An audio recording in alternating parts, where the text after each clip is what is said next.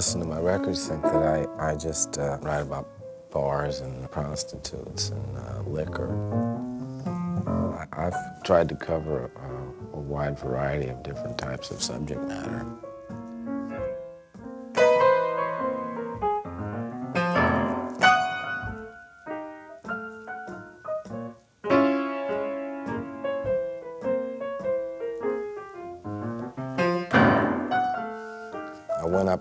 Napa for a, what we call a musical summit. You'll never know just how much I care.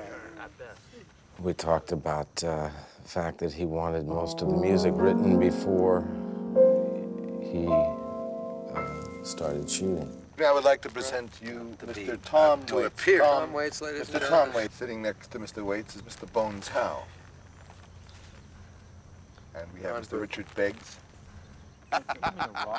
way to start is to give us a lot to listen to. Throw out, you know, it, Yeah, oh, any sure, idea that absolutely, occurs to you, piano That's sketches, other rough lyrics. That's why, as he says, keeping it fluid for as long as possible is the only way you can work. Well, the picture and the music, I think, are going to uh, trade off. Like Francis said, sometimes the music is going to lead, and other times we're going to get a piece of music and picture together. It just isn't going to work. Then you call it a son of a bitch and you beat it up and you find out how strong it is and if it wants to stay. You have to stand back and, and, and dump on your own children and, uh, and find out if they're strong enough to want to fight back and stick around. So that'll, that'll happen with scenes and, and music as well. Musical ideas began developing very, very soon. And in many ways, the intention would be that they would influence the style of the picture. I wonder who's kissing her now. I wonder who's showing. That's a beautiful song. Her how. I wonder. Music speaks alone.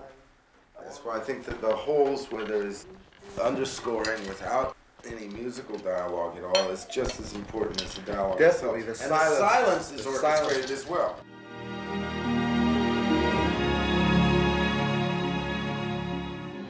I'm working with an arranger on all of this, Bob Alcivar. We've been in the studio several times.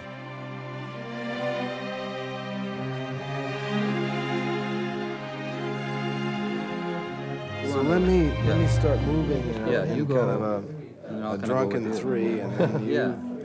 I'll tell you what you do. It'll help too if you move, you know, like your arms and stuff. You know, Okay. just kind of. Then I'll, uh, I'll just go with you.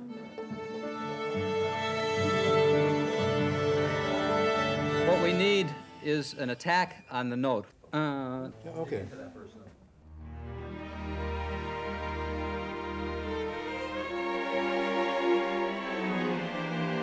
It's like uh, dancing. yeah, it's like dancing. I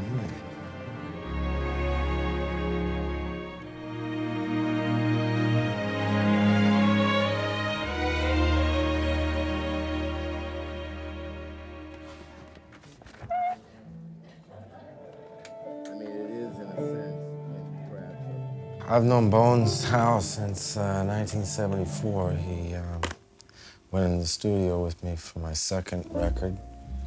So I've known him for seven years. He's um, engineering and producing uh, the music. I don't know how you feel about what you did, Tom. You want to do it Oh, I'll do it again.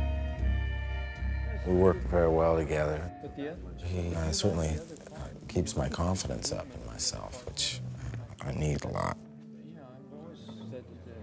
I was so insecure when I started, I had no idea that I would be capable of writing an entire score to a major motion picture, especially working for Francis. I was sweating bullets.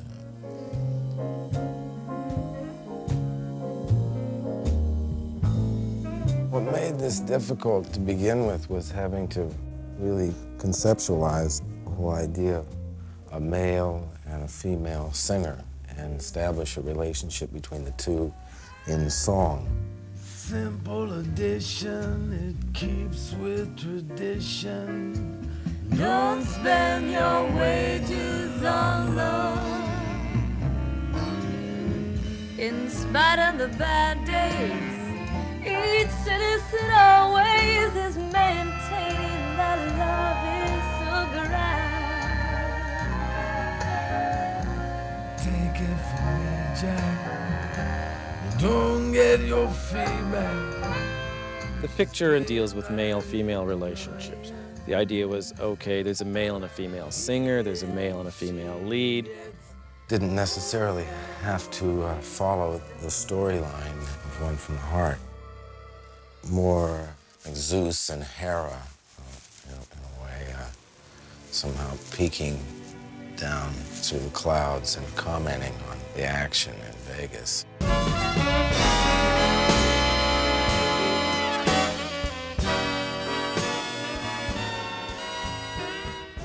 Francis wants to uh, build some scenes around songs. Here comes the bride. And there goes the groove. So that it's uh, more hand in glove. Looks like a hurricane went through this room. We're gonna sing, we're gonna talk, we're gonna have the guy with the girl, the girl with the guy. We're gonna give all the possibilities. You know that they love each other. And yet, here they are with these terrific new people that you know they much more enjoy. So we really, by the end of this sequence, we really posed an incredible dilemma, which is, you know, what's going to win out, true love or the promise of fantasy? With the music, he he wanted really a more like a glass of music, and then they have a glass of lights and, a, and all of these different beverages uh, there, and he can start to mix like a wizard. I call this used Carlotta.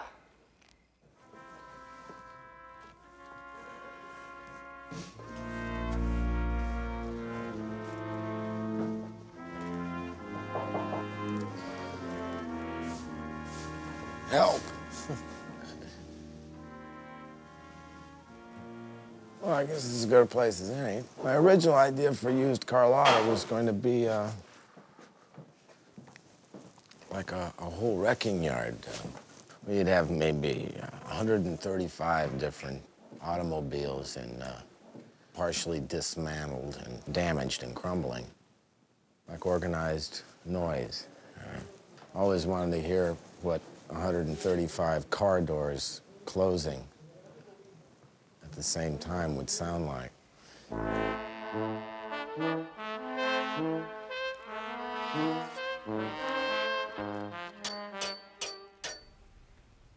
I thought it might be good for Hank's character.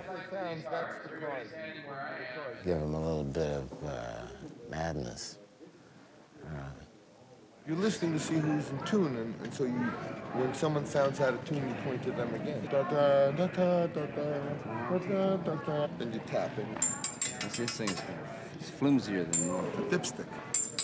the scene with Lila walking the tightrope seems they're both enchanting one another.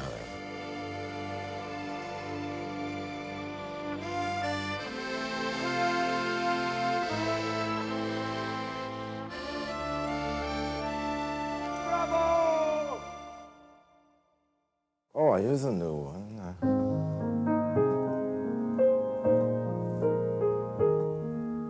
Take Me Home is what uh, Tom calls a, a, I think he calls it a folk ballad. The melody is beautiful and the words are just gorgeous.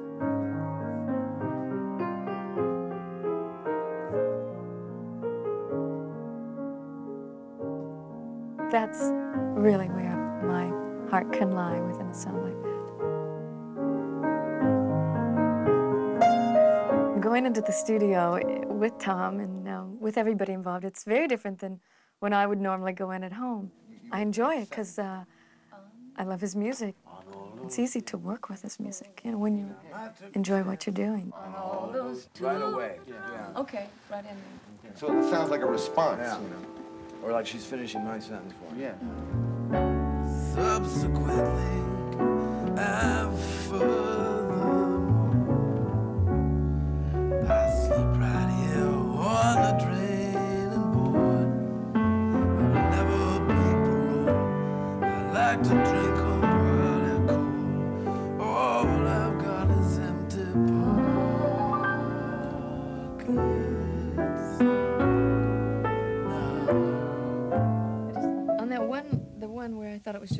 brackets now. I think I need to, because we're in the high register, that maybe it, it might have to go down. a little bit. no. You may have to come down. All I've got is empty pockets now. In the various places where you harmonize, did you arrive at her always doing the low notes and you the high notes all the time? I just noticed that a number of times she took this She thing and not the melody. Okay. So maybe we'll explore. All right. Okay. Orchestra. Orchestra. The orchestra is blind. But I've never been the worrying kind. I don't know. That Let's was, have that was nice, by the way. And it's like the two people are sitting here, and you're saying, "Oh yeah, you had a bad time. What about me? I met you." Francis will come into the, the, the session, the recording session, and he will put in thoughts that he wants within the music for his movie, and we try to interpret that. I spill myself another drink. I count the whiskers in the sink. You know the part where she sings about the whiskers and the sink and stuff? My instinct is that because kind of you got what your style is, mm-hmm. that on that she can, you know, kind of sing it full, not have to, you know, like a torch song, I mean, like real emotional. I spill myself another drink. I count the whiskers in the sink. What's nice is that it all ends up with uh, kind of that you do love each other, and the "Once Upon a Town" line is, as the melody has it, is very full and, and pretty. Yeah, I think it works better if Francis dividing those up a line apiece. I like it too. I've never been involved within the framework of a movie, and I, I'm seeing what can go on. Do you want to do a little game just for the hell of it? Just for kicks, okay? Just say the lines to each other as though you're having a conversation. scene. Say this, say oh yeah. Say Oh, this. and all those two-bit Yeah, well, Romeos if- yeah. counterfeit romance. Yeah, like him. The most interesting and unusual within everything, I think, is being able to work with both Tom and Francis, and to be able to do something very different. And this movie is that.